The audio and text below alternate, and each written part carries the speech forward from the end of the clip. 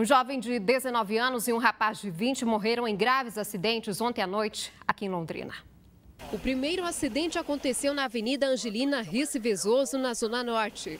O motorista do Honda Civic perdeu o controle da direção, bateu contra um poste e capotou.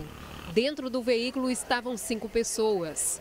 Uma delas, Matheus de Oliveira Godoy, de 19 anos, não resistiu aos ferimentos e morreu no local. Outras três pessoas com idade entre 18 e 19 anos foram atendidas pelo CIAT e encaminhadas para hospitais de plantão. O quinto ocupante do carro fugiu do local do acidente. Na Avenida Guilherme de Almeida, no Jardim Ouro Branco, um motociclista bateu violentamente contra um poste. O CIAT e o SAMU foram até o local, mas o condutor morreu na hora.